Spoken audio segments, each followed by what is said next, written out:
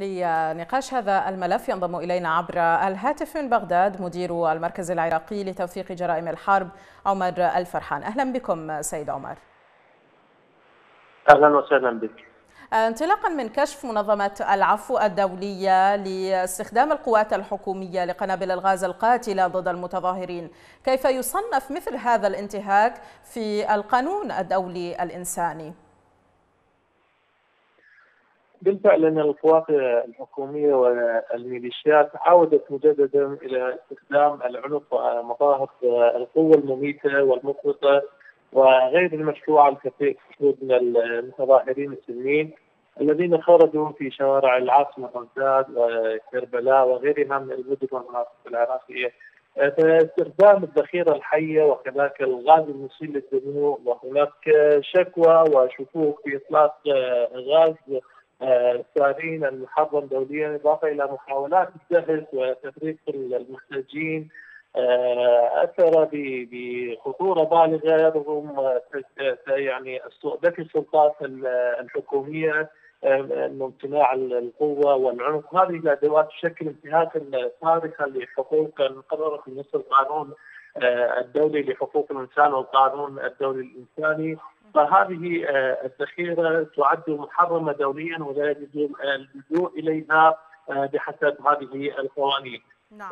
فضلا عن أن هذه القوات يجب أن تمتنع عن استخدام هذه الأسلحة النارية ما لم يكن هناك تهديد وشيك بالموت أو الاصابه الخطيرة ولا يوجد بديل مناسب متاح لهذه الذخائر وكما تعلمون أن الوضع في العراق تفاقم من خلال هذه الأدوات واستخدام القوات الحكومية والميليشيات الموافقه لها التي جاءت في تعزيز حالة الفوضى لصالح لمصالح أخرى دولية يعمل يعلمها القاسي والداني والمتعلقة باحداث هذه الفوضى في العراق ككل. وتحويل هذه مسار الاحتجاجات هي يعني تسعى هذه الحكومة إلى تحويل هذه مسار الاحتجاجات ضمن الوسائل المتاحة لهم ثم لم تتجاوز يعني هذه المظاهرات حد التعبير السلمي وحرية نعم. الراي عمر آه إلى أي مدى يعتبر تقرير منظمة العفو الدولية وقبله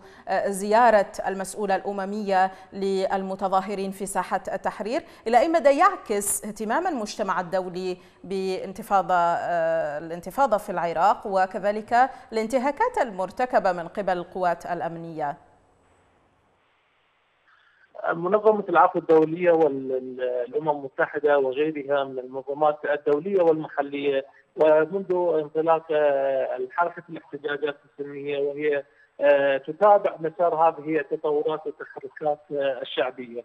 فبدات السلميه وما زالت الآن تحافظ على مضمرها دون أن تمرد أو لجوء إلى الادوات القتاليه، فالعديد من المؤثرين والفاعلين في الساحة العراقية شاءوا أن تصل الأمور لاكثر من ذلك بسماح القوات الدولية باختراق باختراق الساحة العراقية مجددا وعلى وجه التحديد الميليشيات والقوات الإيرانية نعم. هذه التقارير الدولية والاهتمام الدولي يعكس مدى يعني أن هذه التظاهرات تعكس حجم إرادة الشعب العراقي في التخلص من هذه الاثار السلبية والعملية السياسية والنهب والفساد والجوع الذي مارسته الحكومات منذ عام 2003 وإلى اليوم.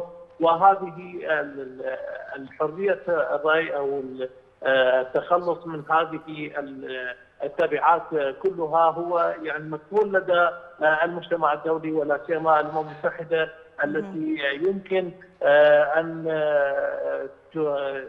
توجد لها موقع قدم في تحقيق هذه المطالب وتقوم بما يلزم عليها القانون الدولي لحقوق الإنسان وميثاق الأمم المتحدة بتخلص العراق من هذه ويلات الحروب والنزاعات المسلحة الداخلية.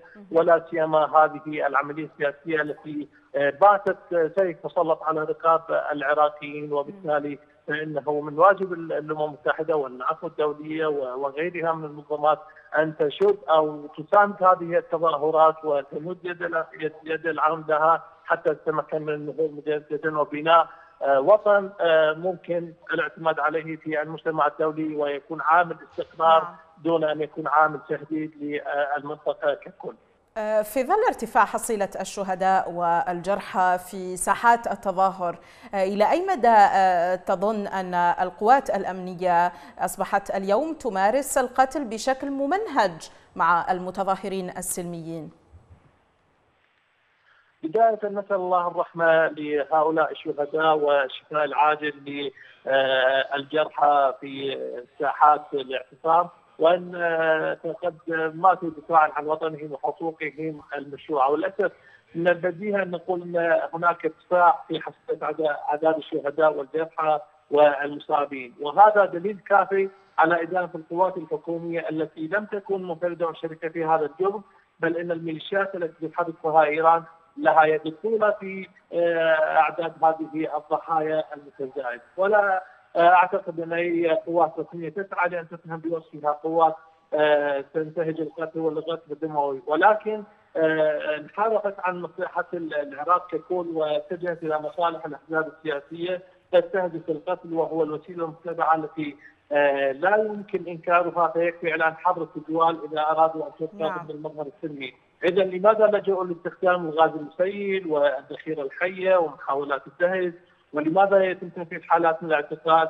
فقد هذه القوات الأمنية فقدت سيطرتها على سلميه موقفها كونها لا تملك منفرده حق التصوير في تقرير مصير أو أو اداره الملف العراقي برمته وهذه الإجراءات يعني إجراءات قمعية لا يعني تتفق مع المعايير الدولية في نهجها في التعامل مع المتظاهرات السلميه في العراق. مدير المركز العراقي لتوثيق جرائم الحرب الأستاذ عمر الفرحان كنتم معنا عبر الهاتف من بغداد.